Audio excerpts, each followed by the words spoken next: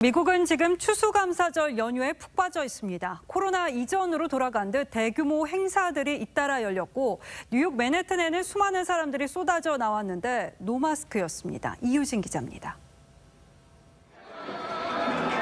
스누피 보스 베이비의 스타워즈 요다까지 인기 캐릭터들이 총출동했습니다. 곳곳에서 환호성이 터져 나옵니다. 뉴욕의 명물 추수감사절 퍼레이드가 돌아왔습니다. You know, it feels really phenomenal to be here. It feels like New York is on its way to recovery. 지난해엔 관람객 없이 TV로만 생중계했는데 올해는 퍼레이드에만 6천여 명이 참가하고 수십만 명이 현장에서 관람한 걸로 추정됩니다. 그런데 대부분 마스크 없이 나왔습니다. 코로나 재유행이 아랑곳하지 않습니다.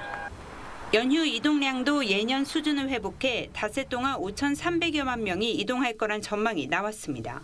Well, this is the only chance we have days off from work, so we have to enjoy it. 방역 당국은 걱정이 태산입니다.